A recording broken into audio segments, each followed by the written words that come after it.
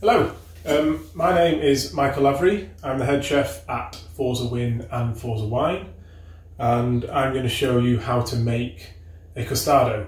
Um, a custardo is, uh, by a country mile, our most popular dessert. It's the only one we've never taken off the menu. It is an espresso topped up with hot custard. So it's very similar to an affogato. It's essentially a hot affogato. If you melted your ice cream, you would have a custard. You mix it with hot espresso, it's delicious.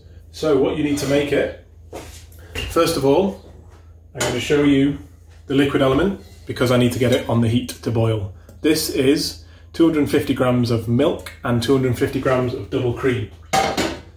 Into that, we're going to use, we're going to add a vanilla pod, a real vanilla pod.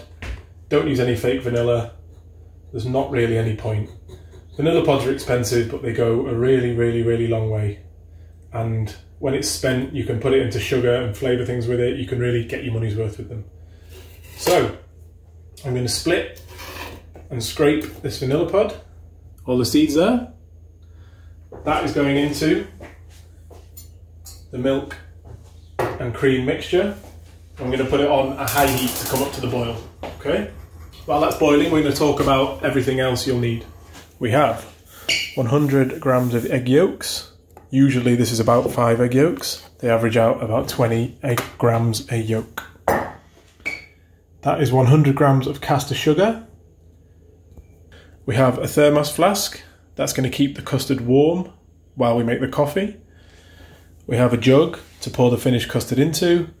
We have a sieve, spatula, rubber handled spatula is best, a whisk, and this is my chosen coffee maker. You can use any method of making espresso that you like. So while I've been chatting away, the milk and the cream and the vanilla have come up to the boil, almost.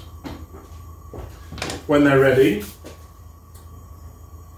we will put a cloth under this bowl so it doesn't move around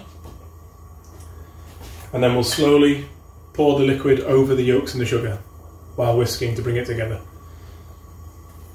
After that, we're going to go back into the pan on a super low heat and we're going to thicken the custard.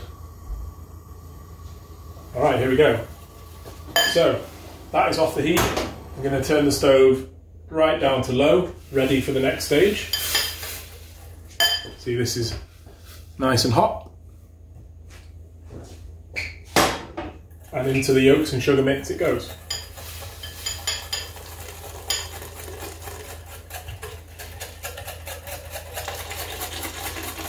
Everything in. You finish with your whisk. And there we have unthickened custard. We're going to go back into the same pan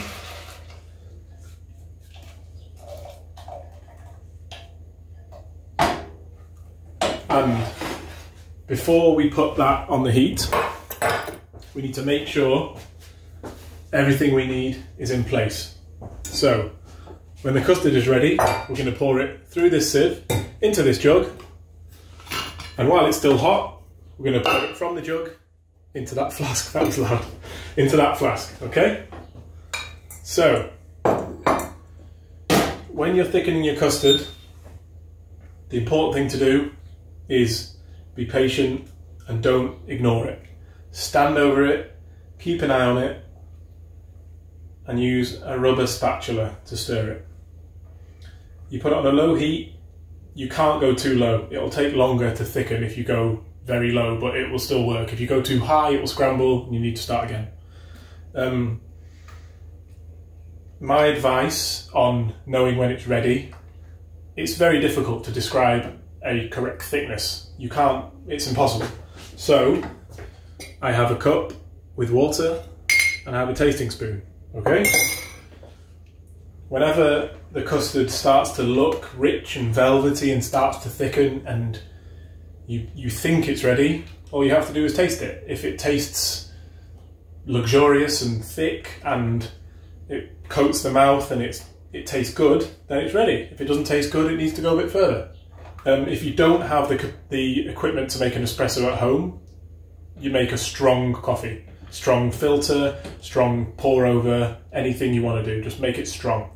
That's the important bit. It's starting to leave tracks in the pan when you when you pull the spatula through. You can see it thickening and the viscosity is increasing.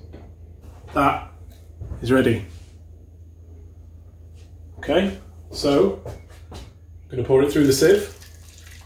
This will take out any stray bits of egg yolk that may have solidified and it catches the vanilla pod. There we have it. Custard. So, hot custard is going to go into a flask.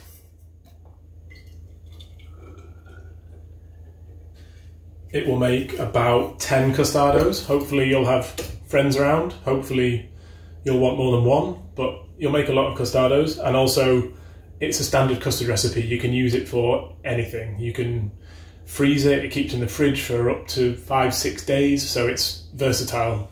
Who doesn't like extra custard? So next thing we're going to do is make an espresso and finish the drink. I have a boiled kettle. I have a pretentious hand-pulled espresso machine because that's the sort of guy that I am. And let's make an espresso.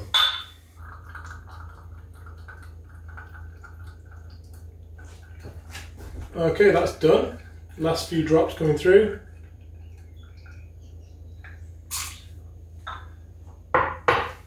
Here we have one fresh espresso. You can see the crema is quite a good coffee, I think.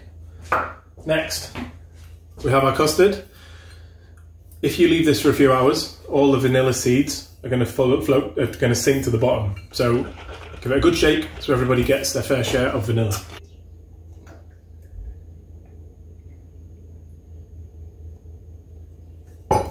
Get the lid back on. You've got another nine or ten custardos in there. Give it a little stir. And there we have it. It's velvety, it's rich, it's thick, it's very sweet, it's quite luxurious. Sorry about the slurping noises. And I think it's quite a nice end to a meal.